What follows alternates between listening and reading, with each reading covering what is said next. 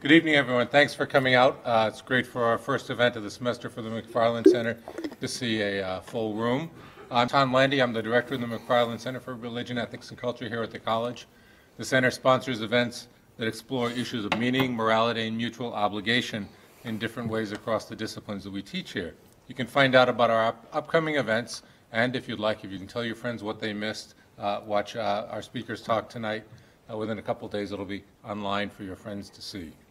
Um, it's great to see a good crowd, as I said. It's indicative of how much interest there is today in thinking about food, including ethical issues surrounding food. It's ironic because, at least since I was a child, uh, people always ascribe virtue, virtue and value to food. You know, I'm not eating this dessert because I'm being good.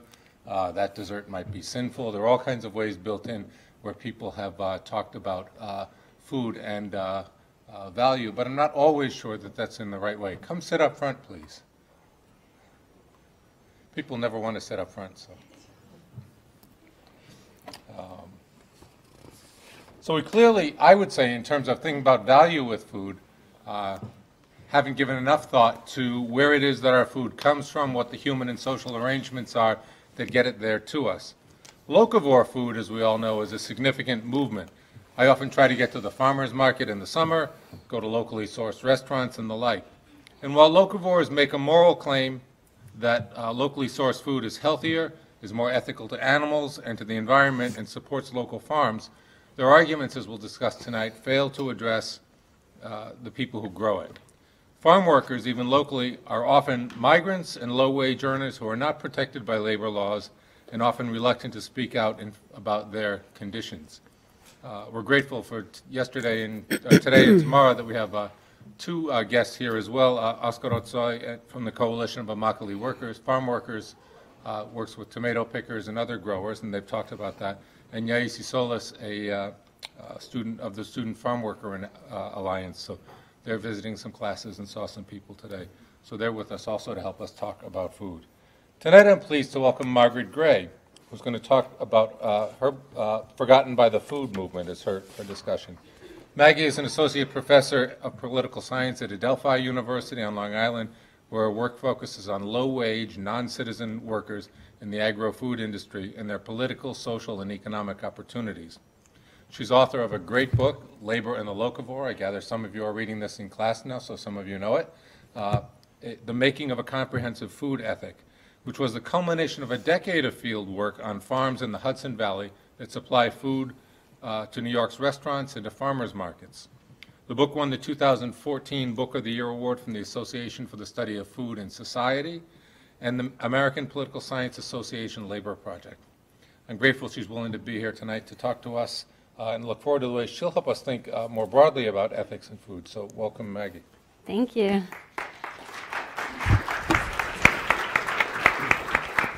Hi, everybody. Thank you so much for coming tonight. I have a favor to ask. My, um, the chair of my department is always yelling at me that I don't get pictures from the events I go to. So I thought maybe I could take a selfie with you guys in the background so you could smile and make it look like you're enjoying yourself, like wave a hand or something. Okay, ready? One, two, three. Okay, that's for Tracy. She'll be so happy. So,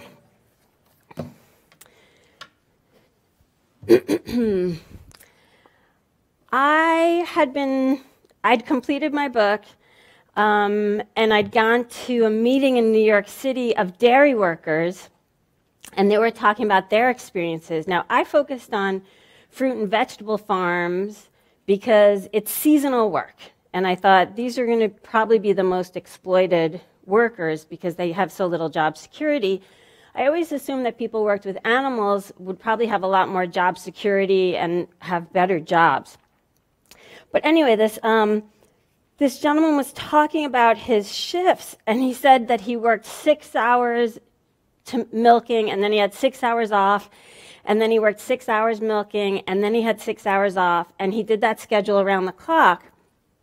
And I, you know, I spoke with him afterwards. I said, Well, how do you manage that sort of sleep schedule and what if you have to go to the doctor and you know how does that work and he looked at me and said no no you don't understand this isn't so bad because i have to used to have a three hour schedule at the old farm i worked at where he had to work three hours on, three hours off, three hours on, three hours off, around the clock.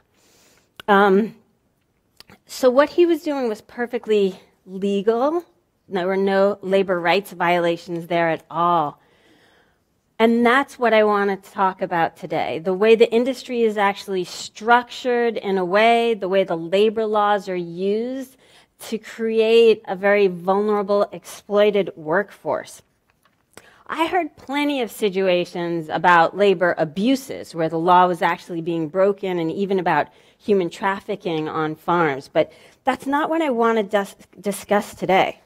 So, in addition to those three hour shifts, what's also legal um, is that you don't get paid overtime if you work more than eight hours.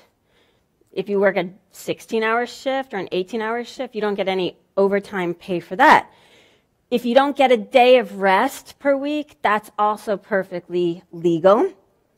And farm workers don't have collective bargaining protections. So, collective bargaining protections are what require your boss to recognize your union, but collective bargaining protections for you mean that in almost every workplace you work in, you can either organize a union or you can just get together with a couple of other coworkers to speak to the boss and say, hey, we were thinking about maybe a 25 cent raise, right? That's also collective bargaining. And in agriculture, there aren't collective bargaining protections. So I know workers, I know I've heard of one farm where 40 workers got fired because they asked for a 15 cent raise. Um, another farm where 12 workers were fired because they asked for better housing. In other industries, if you approach your boss to try to change the situation, you can't get fired for that. So again, in New York State and in, and in most states, you, you don't have a right to overtime pay on the farm, you don't have a right to a day off, and you don't have collective bargaining protections.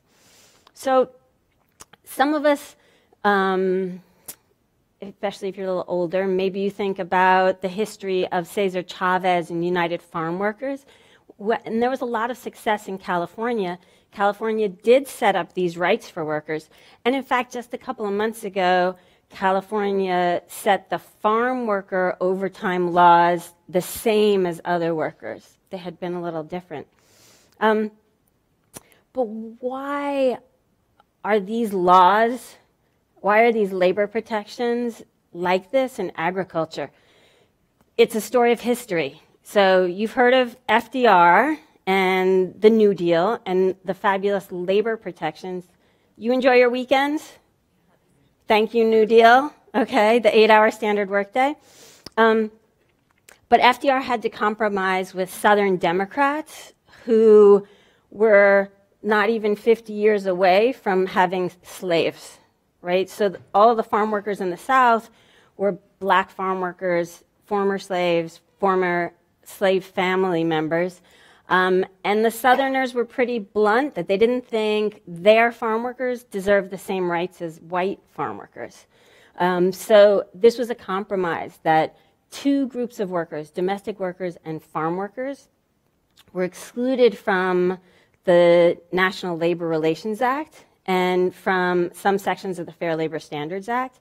They were also excluded from, excluded from the Social Security Administration Act of the Social Security Act and, and others. Um, they were added into Social Security later, but these other rights, they never caught back up. And I want you to think about that for a moment because what I'm telling you is that the history of the exclusion from the labor laws is something that's rooted in the racist history of the US. And really, it comes out of a sense of slavery. Because think about those two groups farm workers and domestic workers. Those were the jobs that the slaves had. Okay? So I just wanted to sort of give you that setup to begin with. Um, if you don't know what a locavore is, right, someone who tries to eat local foods. And this is what I was interested in looking at. When I started my research on farm workers in New York State, I found one book that was published in 1969 called Migrant. And that was pretty much it. Okay? Almost all of the scholarship that I found in the early 2000s was about big agriculture, and particularly about California agriculture. Um, so when I was researching my book, and I met Valeria, an apple packer from Guatemala, who broke down in tears talking about the loneliness she was experiencing living in rural New York. The scholarship that I was looking at wasn't telling her story. When I met Winston, who was a guest worker from Jamaica, and I said, What if you had a problem with your boss? What would you do? And he looked at me and said, I have no idea, and I probably wouldn't do anything. I couldn't find his story in the scholarship. Um, and on top of that, there was this locavore movement taking off in the 2000s that was praising every aspect of agriculture in the Hudson Valley at the time. Um, and then I would go talk to Vicky and Manuel, who were living in a trailer. It was a brand new trailer, but they had to sleep on the floor because the boss didn't provide a mattress. Um, and Hugo, who was working 80 and 90 hour weeks, and whose children said they never, it wasn't like he didn't even live there. Um, and I thought that the locavore story wasn't including what these workers had to say. So not only was there an absence in the scholarship about these sort of smaller local farms, but then there was all this celebration taking place about local agriculture. Um, so, as a you know, I'm not a muckraking journalist who's like, okay, now I demonize. I'm an academic who wants to complicate, right, and ask some hard questions about this. Um, I interviewed countless workers who had no idea what their rights were, and when they sensed there was something wrong, they had no intention of challenging the boss at all. Um, so, coming back to this idea of the locavore, I think that our picture of what local farming means and what it looks like in a way obscures the experience that these, that these workers have. Okay? So I think there's a significant disconnect there. And I think, in a way, the beautiful landscape of the Hudson Valley itself masks these labor conditions. So let me show you some slides of the Hudson Valley. So this is a coffee table book that's all gorgeous pictures of Hudson Valley farms. Anybody here from the Hudson Valley? Just got, you know how beautiful it is, right? I mean, red barns dot the landscape. You drive along and there'll be an apple orchard. Have a nice sheep in that picture. So, to some extent, my argument is about what are we being sold in terms of local food and that we should ask some more questions in regard to how the workers get treated, right? So some of the overriding questions that I want to address are the ones that are on the screen right now. So I'm here to talk to you tonight. I think you need to hear about the conditions of workers on these local farms, the difficulties they have in trying to change their situations. Like if, if they have it so bad, why, why can't they change it? and why they've been orphaned by the food movement. So, again, I think that public and scholarly perceptions about agriculture have largely been shaped by West Coast research, and certainly about ideas of factory farms.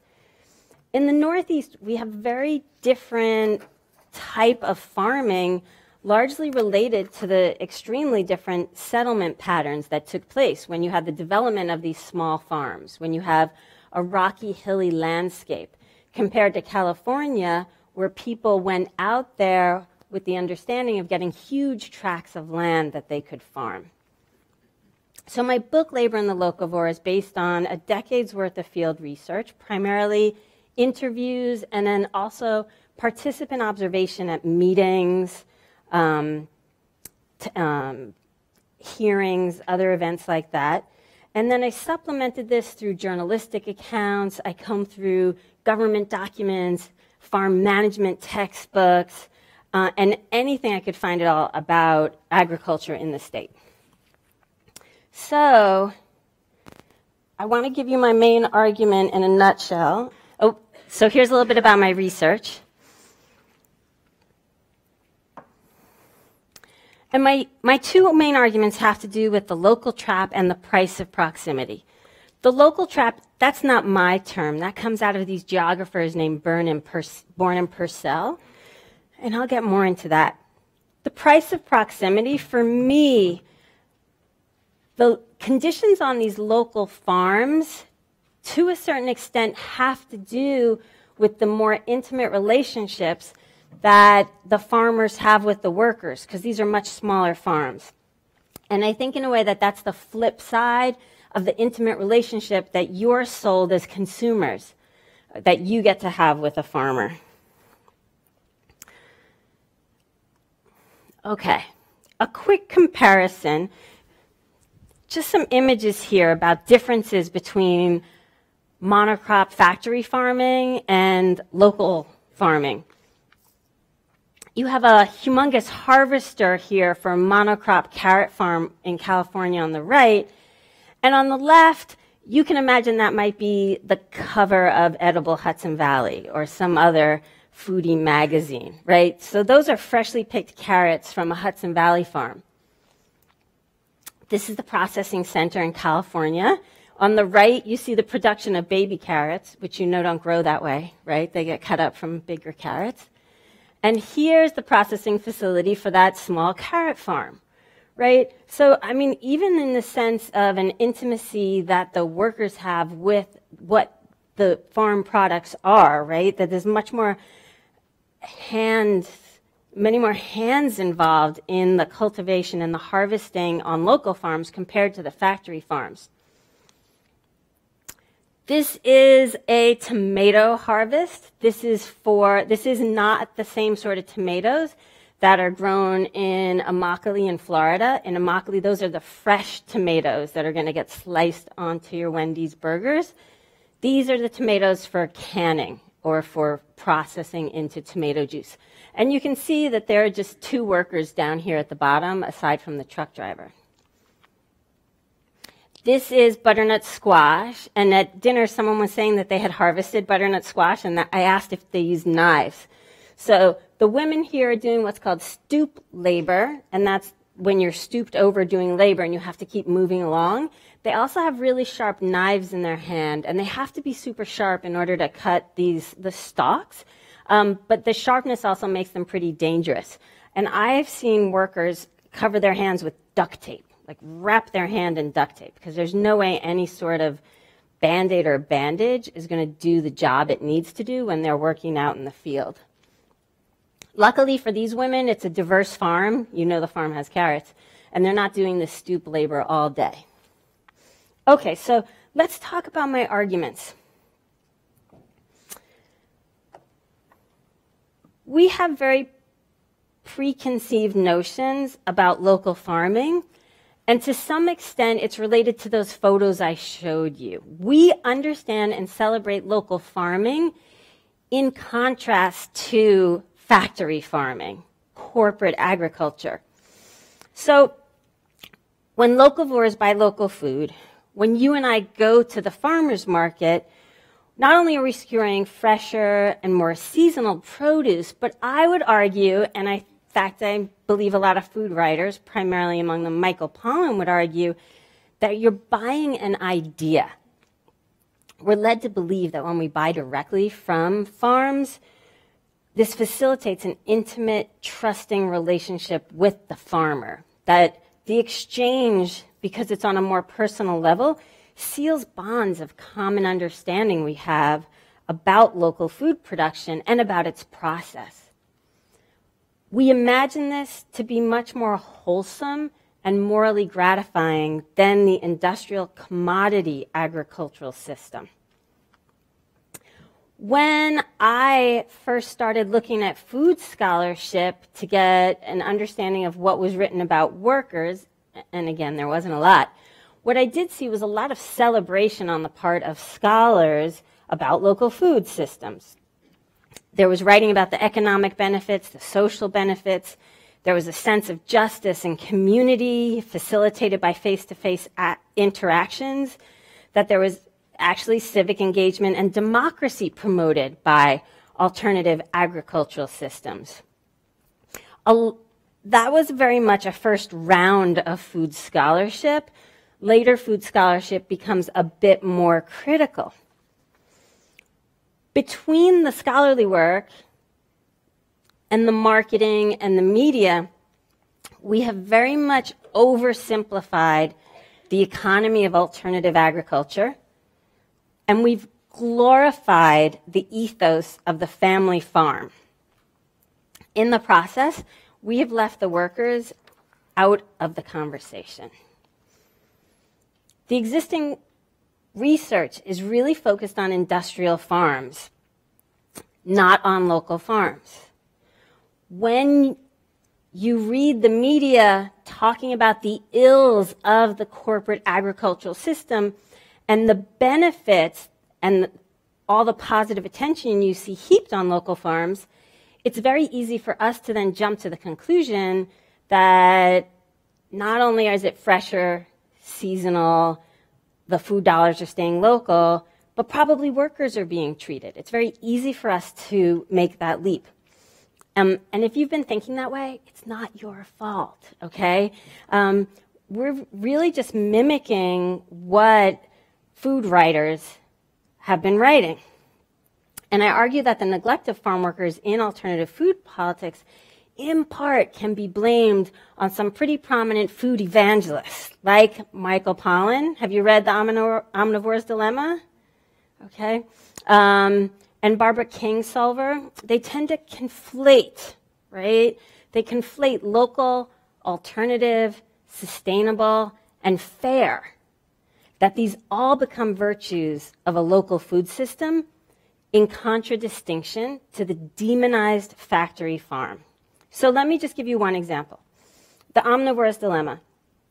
In 2006, it was on the New York Times best book list for the year.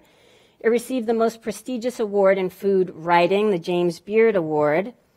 And I don't know if anybody here might remember, but Michael Pollan describes two types of farming. Does anybody remember what they might be? Anybody read it recently? This is the chapters are called this. Well, the first one is industrial, okay? And that evokes that giant carrot harvester, right? The second time type of farming he describes is pastoral. Okay, so what do you think of when you hear that term pastoral? Cows. Cows. like, where does that term come from, right? Particularly in the Hudson Valley, where you have the Hudson Valley School of Painters and the pastoral landscape, right? The pastoral is where the, the clouds break a little and the angels sing and the sun came, comes down and shines. Um, with this one, even just this one book, right? And this is just one part of what Food evangelists had to say. But with Michael Pollan making this distinction with you've got two types of farming out there. You've got this industrial, horrible, evil, dangerous factory farming system. And then on the other hand, you've got these local alternative agricultural models. And he offers no in between, right? that's when your professor writes on your essay, like, I think you could complicate this issue a little bit more. It seems not, it's not a dichotomy. Um, so along with our ideas on this, we have fallen into this local trap. Okay, we've really conflated ideas about local agriculture with wholesomeness. Um, these are some images that I'll, I'll show you in the background, some of the way that we've seen local farmers be cast as rural heroes. Um, and there's some really beautiful photographs here. Okay, so local as a concept, we have constructed in a way to attach this wholesomeness to it. Because that carrot farm is a local farm to somebody, right? Um, this idea of local, even the idea of small, it does not automatically equate with wholesome. It doesn't equate with good or bad. Um, and with this local trap, part of the, the trap part is that we don't think about the workers. Or we imagine these farms don't have any workers, that these are all mom and pop operations. In Barbara Kingsolver's book about a year of eating locally, she visits countless farms and talks about them, and not one of them seems to have any employees on them. We imagine also that if they did have workers, that they probably have more sustainable jobs and more sustainable livelihoods than they would on these factory farms. So I know what you're thinking. Maybe you've read Eric Schlosser, who has consistently done great work about farm workers and their experiences. But again, I'm not arguing that farm workers don't get any attention. I'm arguing that farm workers don't get attention we'll come back to that, don't get attention in local food systems. And I'm arguing that with all the negative attention heaped on industrial agriculture and not on the local farms, it's easy for us to jump to conclusions. Even in Barbara Kingsolver's book, she never talks about labor conditions on local farms, but she laments the treatment of workers on the factory farms. She discusses what their annual average salary was at the time, which was about $7,500. So by her putting it out there that, yes, look at the terrible labor conditions over there, without talking about it on the local farms, we just assume the conditions are better. So let's look a little bit at some of how local is described. I know you can all read, so I'm not going to read the slide to you. Right? I highlight, right? Awareness for sustainable living. That we have a way of life here. And I think that there are a fair number of people who are living this way of life and enjoying the benefits of local food and local farming, but it's certainly not the workers. They're not the ones experiencing this. These are some more photos highlighting farmers in the Hudson Valley. I'm going to zoom in here. There's a network of magazines called Edible. Is there an Edible Worcester? Um, and what I found is this um, in the corner of the homepage was this local heroes voting. Right, so even that concept, right, of celebrating business people as local heroes, that is that is laden with a lot of meaning.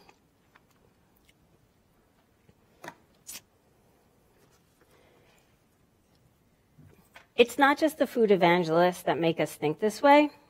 There's also something called romantic agrarianism. So, the Hudson Valley is indeed a fabled agricultural region. Its entire cultural identity, in a way, trades on the currency of agrarian values. Even those, that Hudson Valley River School of painting. And in so many ways, the Hudson Valley epitomizes precisely those farming sectors that have benefited the most from alternative agriculture. There's been an economic stimulus around food. You've had increased tourism as a result and a growing local food movements. When I talk about romantic agrarianism, I'm going to sound extreme here. We cannot overstate the importance of romantic agrarianism, not only as a determinant in the political economy of food, but I would argue as a formative component in our national ideology. So, romantic agrarianism is the feeling you get when you think of a small farm. Okay? It's this feeling you are supposed to invoke when you hear that you bought this product, this yogurt, from a small family farm. Let me give you one example. There's a Whole Foods in my neighborhood that has great samples at a certain time of day. And I was going by and somebody had yogurt and I was eating the yogurt and you know, I, because of what I do, I ask a lot of questions. And they said it was from an upstate farm. I said, well, tell me more about the farm. He said, it's an upstate farm. I said, well, what else do you know about the farm? He said, it's a small local organic farm. And the way he said it, it was really as if that was all the information I needed to know everything I needed to know about the farm. And that was certainly all the information he needed to be able to market the yogurt. So the food movement and of course the food purveyors themselves reinforce these agrarian sentiments. Do I have my agrarian? Did I have, okay. And part of the agrarian sentiments also rely on the landscape. There's a high visibility of farms, farm stands, farmers markets. They're scattered throughout the region's small communities. So there's a constant visual reminder of the scale of farming. And it can be very difficult to even know what a large farm is.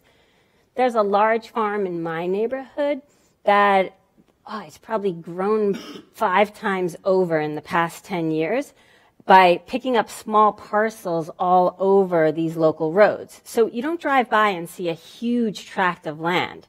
Um, this one's put together by very small parcels. The publishing industry itself also helps support tourism by emphasizing the food. National and regional newspapers highlight farmers all the time. It's hard to pick up a publication in the Hudson Valley between May and November, including the New York Times, that doesn't highlight Hudson Valley farmers at least once a week. But in terms of romantic agrarianism, I think the best way that I can make my point is for you, I know it was a while ago for you, but if you can think about the books you read as a kid, if you've babysat, if you have little cousins, if you have smaller siblings. When I started my research, I had a six month old. So the, the board books started to come in and then the baby books. And I was utterly struck at the depiction of farms.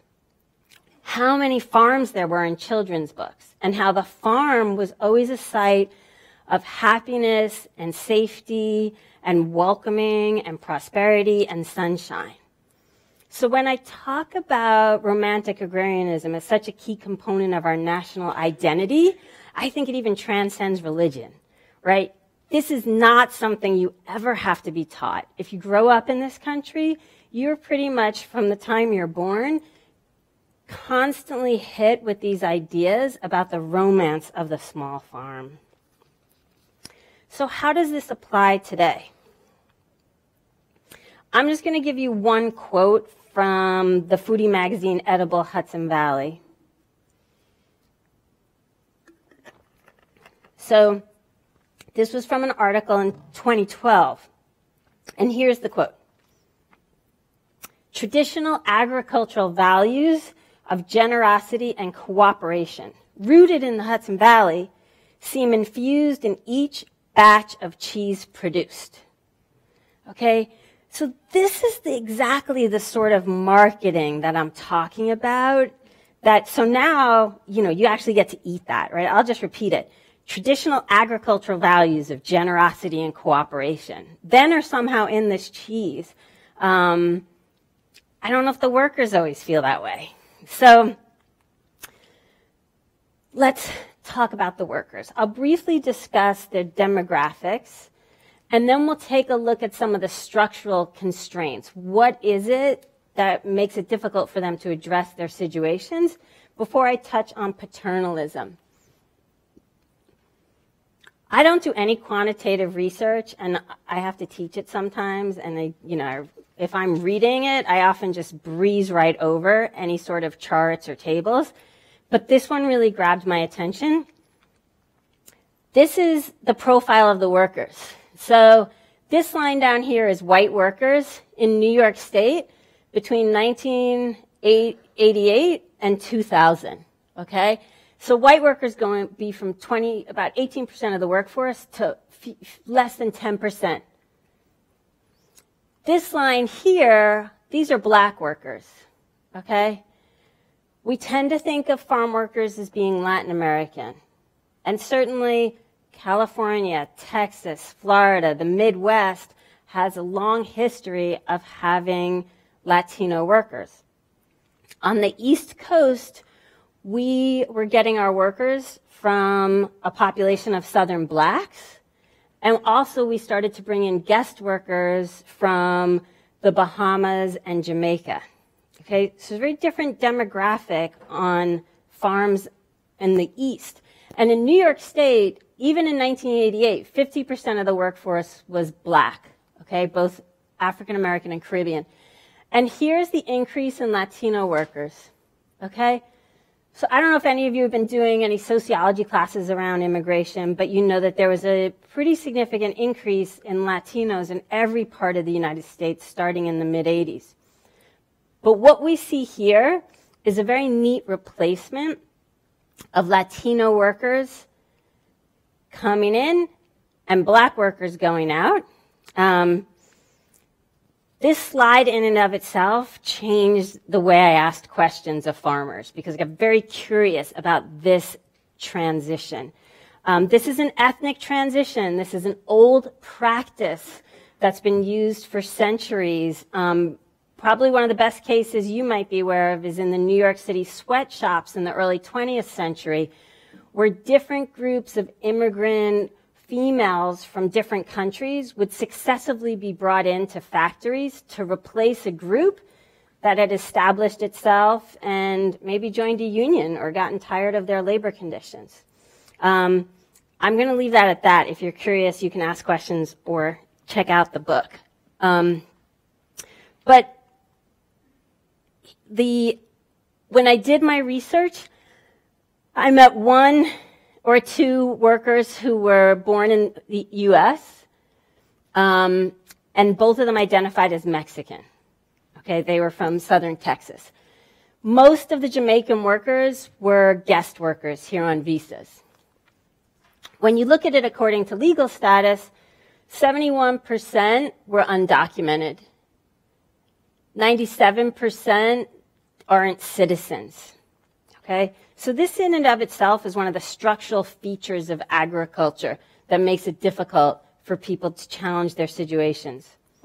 We've also seen a change that workers are no longer true migrants in the sense that they are following the crops up the eastern seaboard. Okay? Most workers in New York are coming directly to New York and not farming in other states. Um, about a quarter, I met about a quarter who were those true migrants. And this is a list of the worker conditions that I found. A huge range of conditions. These are all the same conditions that workers face on those factory, very large farms. Okay? No difference. Maybe a difference in the way it happened. But by far, the um, largest complaint that workers had was wage theft. Okay?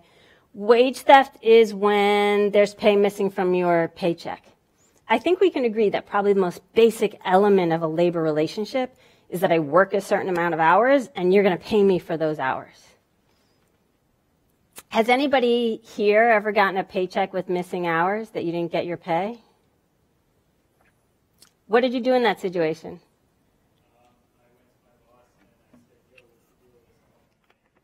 And you got it? How many people think you would do the same thing if you got your paycheck and there were hours missing? I think most of us, right? I can't tell you how many workers out there, they get their paycheck and they assume it's a mistake, so they don't say anything. And then they get their next paycheck and they think maybe it's not a mistake, but there are all these power hierarchies in place between language, citizenship status, culture, education, who gets accepted as a community member. And all of these power statuses find the worker on the bottom end and very fearful of challenging their situations. So the Fair Food Program that the Coalition of Immokalee Workers began, they don't have problems with wage theft anymore because workers have a hotline And they just call the hotline, and if there's a problem, the boss is contacted and the workers get their pay. Before this, the same scenario. By the time it got to the fourth or fifth paycheck, now workers feel as though they've been complicit in it and they can't say anything. So suddenly they're $2,000, $4,000, $6,000 behind in pay. And when the lawyers come in to negotiate and the boss offers them 20% of that, the workers are ready to jump at that. Okay? Because they're like, oh, if I could get just 20% of that right now. So, I mean, imagine being in the circumstance where you were too afraid to ask for the wages that you earned. Okay? So, in addition to all these issues, wage theft is the most common problem. I have a friend who was a Harvard Law School grad who, who worked at a farm worker law clinic, and she said, if I'd asked her 10 years earlier, she would have never imagined that her main job would have been to be enforcing a wage law that was passed during the New Deal era. So, why is it that workers have difficulty? There are some serious constraints, and some of it's related to the history that we talked about. Some of it's related to legal status. Some of it's related to a history of racism. That chart I showed you, where there's a shift from black workers to Latino workers, when you read about the way black workers were treated in New York State in the 1960s, they were essentially undocumented. Okay? They were ushered out of town right after the harvest ended. There were, there were states and townships that passed vagrancy laws so that they were, if they were just hanging around, they would get arrested. Um, and things started to change, we know, as a result of the civil rights era. But undocumented Latinos are a much easier exploited group of workers. So, in general, what I can tell you is that in my interviews with farm workers, I found their conditions to be very similar to those workers that I read about on the industrial factory farms, right? So that dichotomy over here of the giant corporate factory farm, bad for the environment, bad for the local people who live there, a corporate structure that is getting benefits from the government, not organic, you know, and then we compare it to what we know about alternative agriculture. Well, what I want to tell you is that a lot of the same labor conditions exist. And I think you're probably aware that a lot of workers have really limited employability. Um, they don't have a lot of options. They have a lot of anxiety about their legal status. Most of the ones you meet say that they plan to return to their home country at some point. Um, there are poor working and living conditions.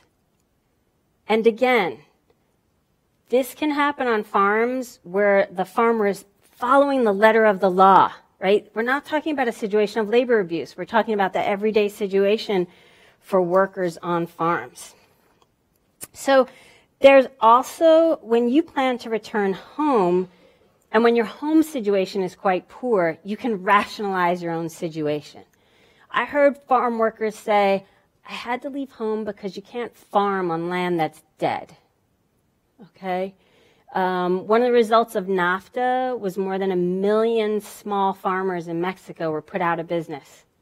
And a fair number of them came to the U.S. to work on farms. Within the constraints that workers face, I think I found something unique to smaller farms. And again, the intimacy that Michael Pollan talks about that you develop with the local farmer, I think there's a flip side to that. I think there's a price to that. I call it the price of proximity. And this is something that creates a workforce that is much more vulnerable to labor control and it deters collective action. So it's the same personal attention in the workplace that you get when you go to the farmers markets. Um, it's the personal attention that food writers promote as integral to the virtues of local food. It bolsters a type of labor control that's likely to exist when farmers have a direct role in supervising workers.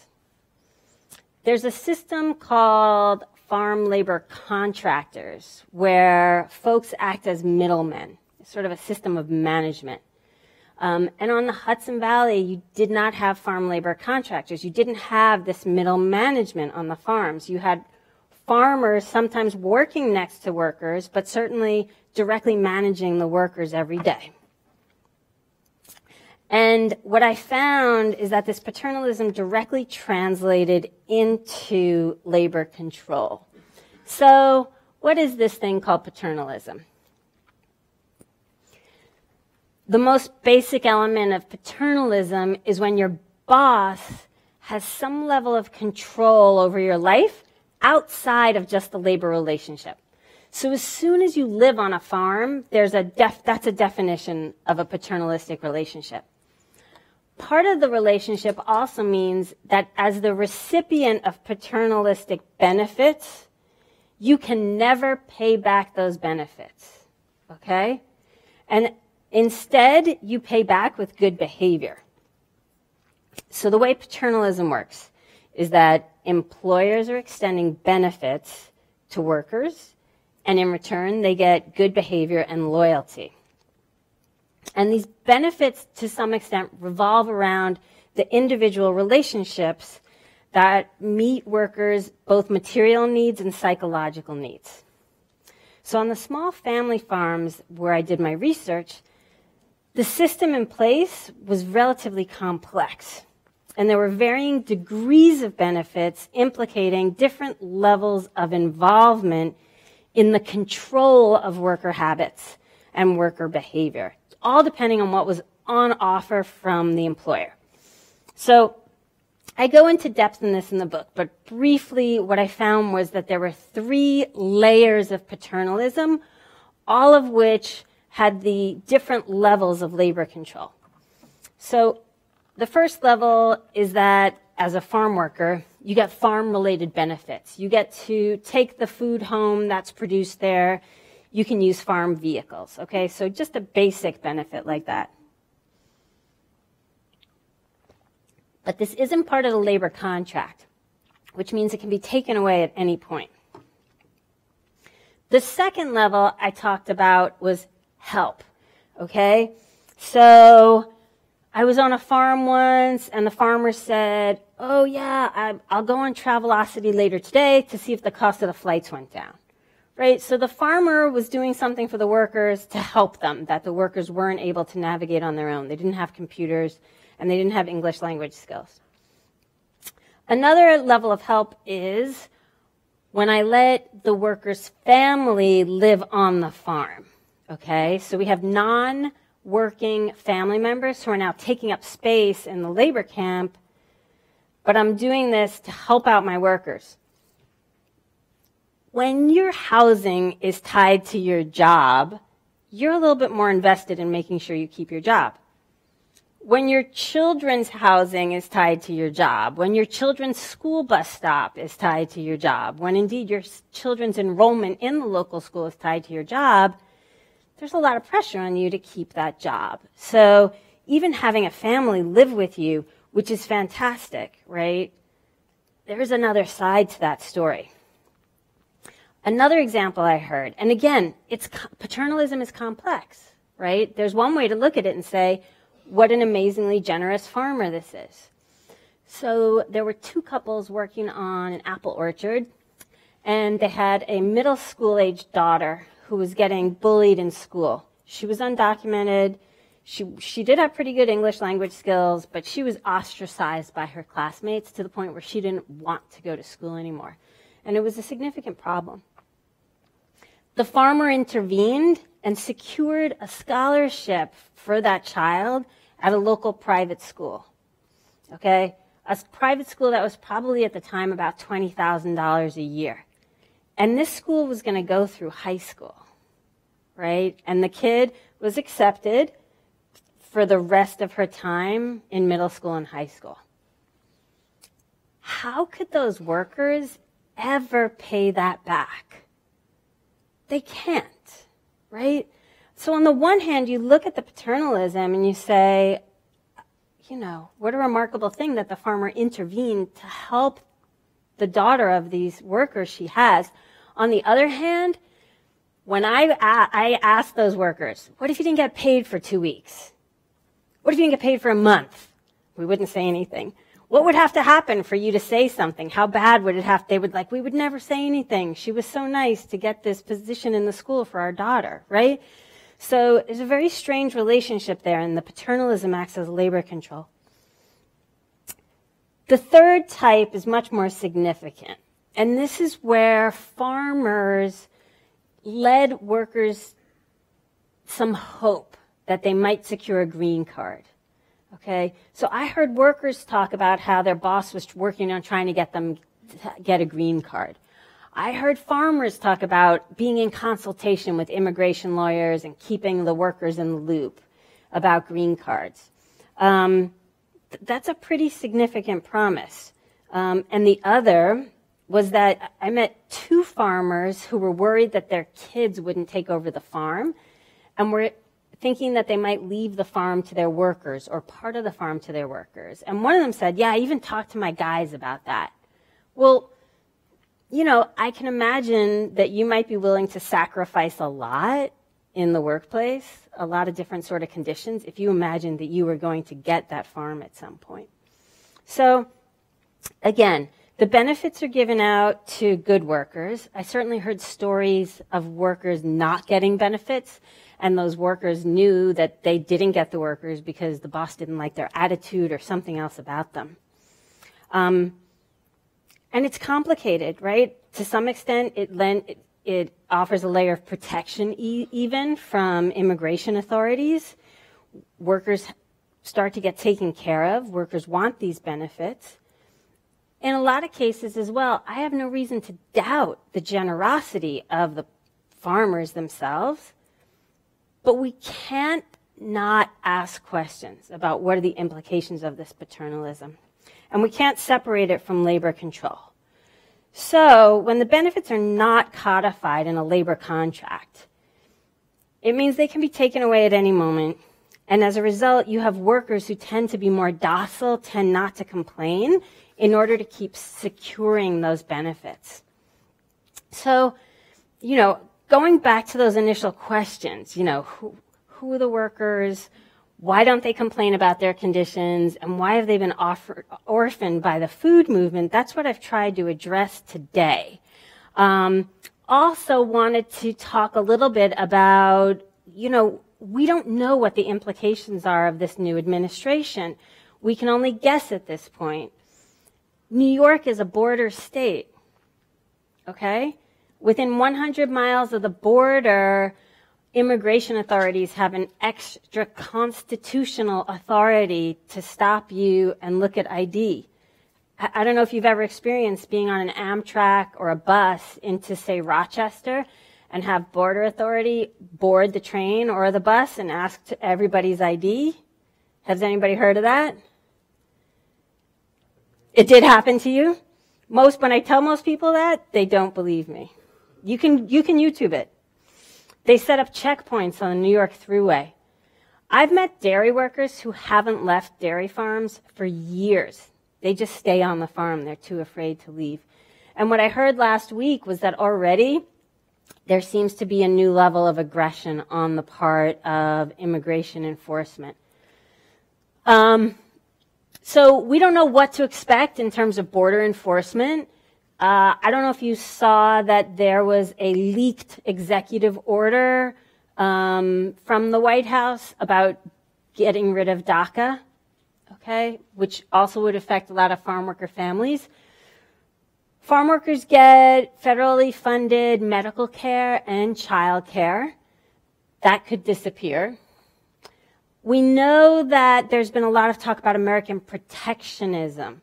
Okay, and that can go a couple of different ways because one of the biggest problems that farmers face in trying to pay their workers is that we have very inexpensive food in this country. Because that apple that gets picked in the Hudson Valley is next to an apple that was picked in China on the supermarket shelf, right? So there's a possibility that if there are protectionist policies put in place, then maybe U.S. farmers might be a little bit better off. We don't know. There are just a lot of unknowns right now. And if you know anybody who works for an immigration organization, their phones have been ringing off the hook since early November with people asking questions and people being really afraid. Um, so I think that there's a lot still to that could happen to change. But even something like the U.S. Department of Labor, which plays a really important role in making sure that workers get protected, they could have their work restricted. Um, so a quick recap of my arguments. Um, and, I, and briefly, I want to talk about the next steps. Where do we go from here? How, how do we imagine that this might change? And what are our challenges? So, all those glossy pictures of farmers that we see in the magazines, when workers are in the paper, it's usually about a protest or a labor abuse, or unfortunately, particularly in a place like New York State, a fatality that might take place, particularly on dairy farms where there's a really high rate of fatalities. So, as a school newspaper, you could try to write a human interest story as opposed to just focusing on the labor conditions. Um, I know an organization that put out a farm worker cookbook, which is really fantastic. Um, you have been trained by the food movement to ask all sorts of questions about how that is that fish okay to eat? Is it been overfished? Um, what are the environmental practices on the farm? Um, and how are those animals treated, right? So one way to look at this is, okay, we focused on those and now's the time to turn our attention to labor. So we haven't been primed yet about what sort of questions to ask about labor. I met one farmer who said he got so many questions about pesticide usage that he created a handout. Here, I don't want to discuss this again. And I said, well, what kind of questions do you get about your workers? And there was just a really long pause. Um, I didn't meet one farmer who sold locally, had a farm stand, who had ever received a question about their workers. I was giving a talk once and the person at the New York City Union Square Green Market, which is one of the um, biggest, most popular farmers markets in New York City, he says he ran, he runs this booth, this information booth. And he said, you can't imagine the sort of questions I get. I get asked everything, including they have these little tokens that you can buy so that you can use the tokens instead of cash, or if you get um, food stamps, you can cash them in for these tokens and use those tokens. And he said, I've been asked if the wood used in these tokens is sustainable, and no one has ever asked any question about labor at all. So I think really about the, you know, the first step is when, you know, when Tom brings me to speak here and brings these other amazing guests so you can get the story. What's the challenge? Okay, here's the big challenge. For too many people, sustainability is right here. Right? It's all about what am I putting in my body? That's what people think of when they think of sustainability. I was at an event where someone worked on a small farm and he was arguing that small farms were worse for animals because they didn't have the same high tech slaughter equipment. And so his concern was that on the bigger factory farms, it was an easier death for the animals. And I looked at him afterwards and I said, Well, you know, you spoke a lot about how people care about the animals. What about workers? And he didn't miss a beat and he looked at me and said, They don't eat the workers. Right? They just, they don't eat the workers not putting them in their body. Why do they care as much? Um, so it's a it's a long story for labor issues. Is that it can be very difficult for us to advocate on the part of other individuals who might be a couple of miles away on a farm because partly we don't want to imagine that that mistreatment is happening.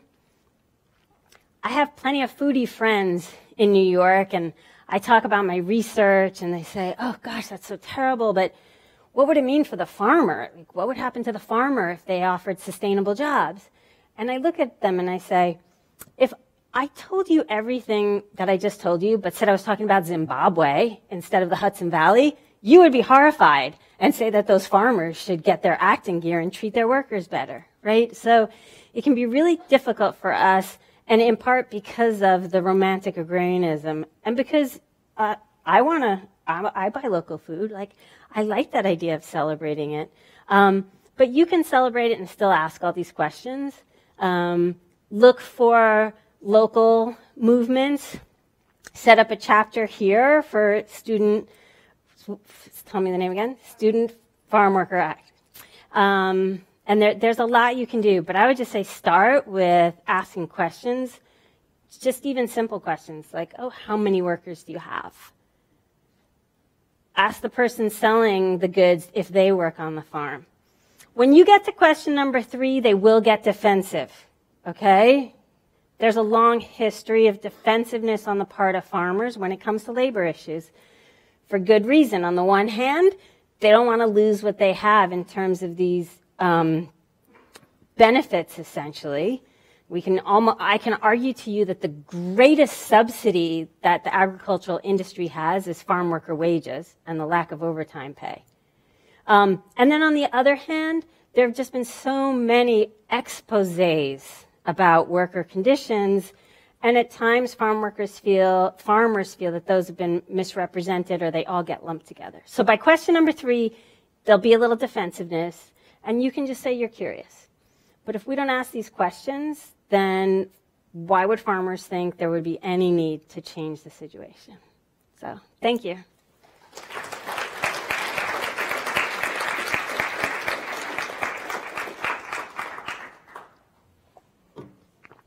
Questions? Comments? Any farmers in the room?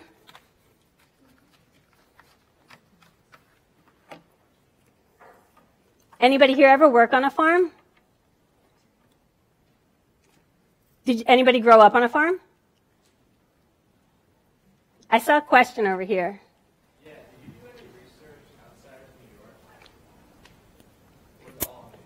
all my all my in-person research was in New York. Um, I've been to Vermont to talk to people there a little bit, but it was all New York focused.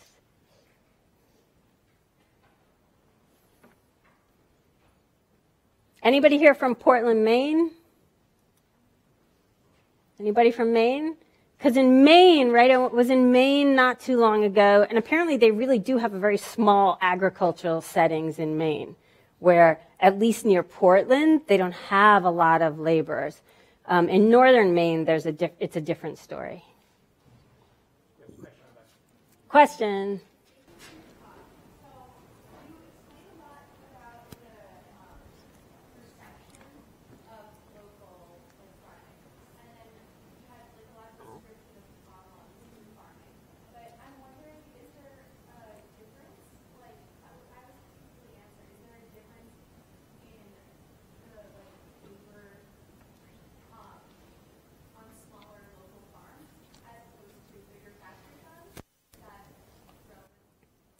Yes, so I think the biggest difference is about the paternalism, which makes it really tricky, right? Because in the paternalistic setting, you have a more intimate relationship between the farmers and the workers. Um, on the farms I interviewed, almost all of them have some farm worker housing, if not all the housing right there on the farm, so that these relationships developed between the workers and the farmers themselves. Do you see that in Florida? Are there relationships between the farmers and the workers directly?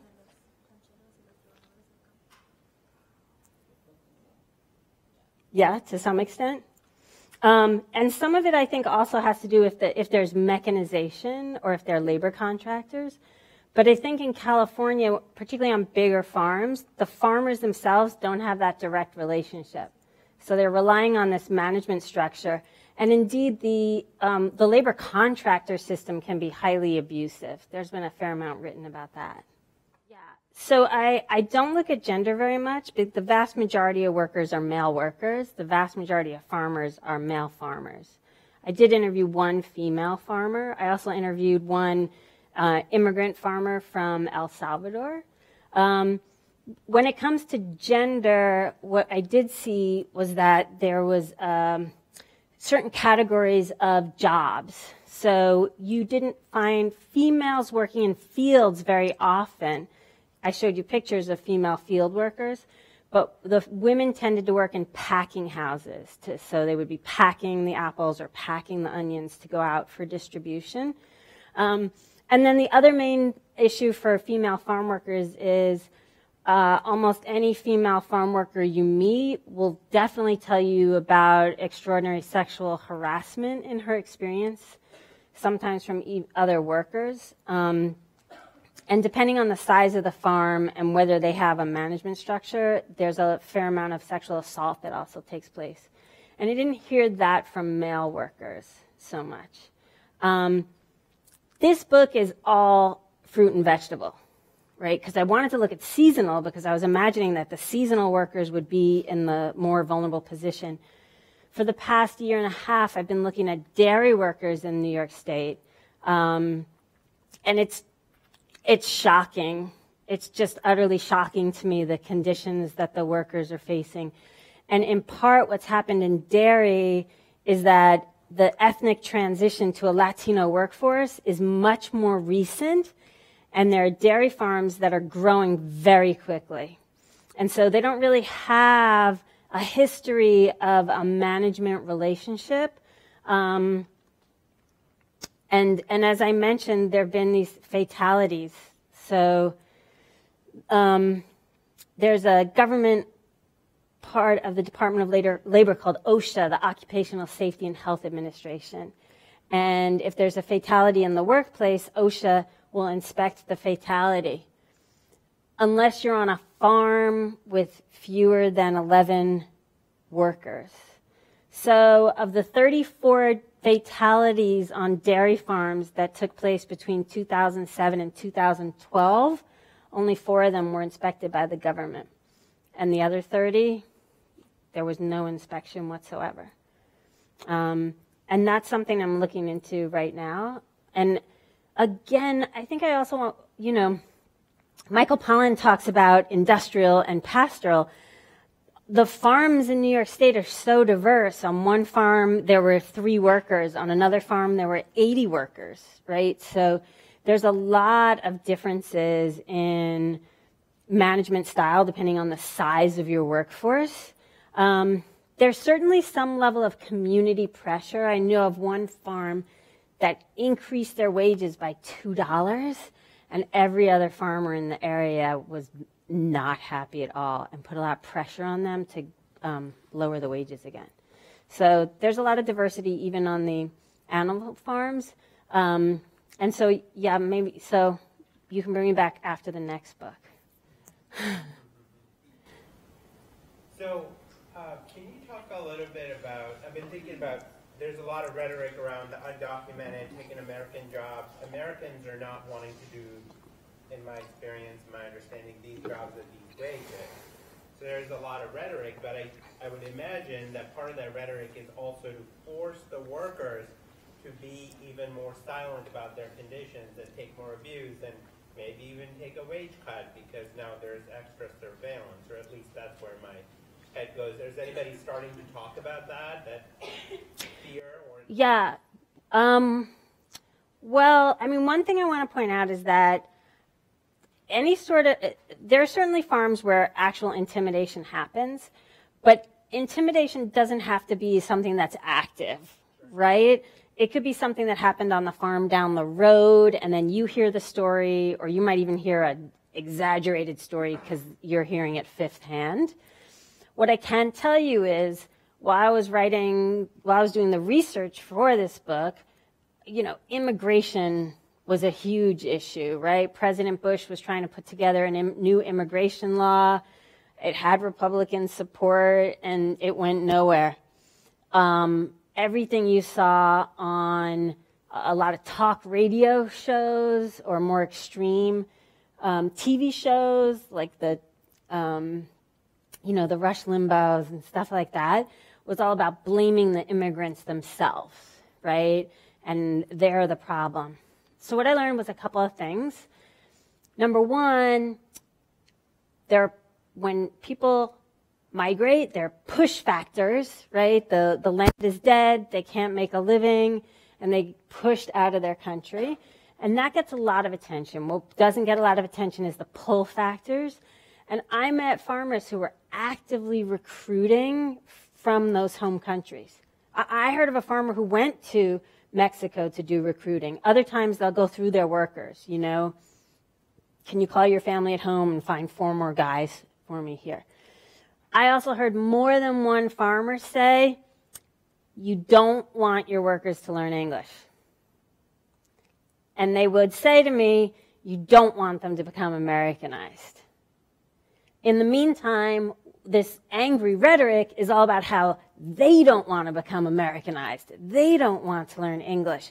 But for the employers, the more they could maintain that hierarchy of they're not part of the American culture and they don't speak the English language, the more vulnerable those workers are. And what I would hear, of course, is that if your worker learned English or maybe went and worked in construction for a little while and then came back, they're not as good workers. Then they act like American workers, right? So the idea is that they become lazy. I think Another way to look at it is, well, now what they know what their rights are. They don't want to work an 80 hour work week for minimum wage, straight minimum wage. Oh, so yeah, a lot of the questions about immigration, I think would surprise people who buy into a very angry rhetoric about immigration but and I think that the statistics, I think it's they say 50% of U.S. farm workers are undocumented. I think that's a gross underestimate. I could only find I identified almost 400 workers, you know, doing the rounds. I didn't interview all 400. And I think I found three that were born in the States, you know, and not that many who had green cards. So, I mean, that, agriculture would just be ruined, absolutely ruined. And you saw this in Georgia some years ago when the Georgia state legislature passed really unfriendly legislation that was re- going to require schools to report if they suspected they had undocumented kids in the schools. And they were making law enforcement, you know, you can stop people. Farm workers fled the state growers were screaming and crying, and they lost a, a, an entire harvest that year. They tried to bring in prison labor, and the prisoners were like, "We're not. This work is too hard. We can't do this for too long." So, this country, we are extremely dependent on undocumented labor in agriculture, and not just, you know, I, I would argue to you, most of the food industry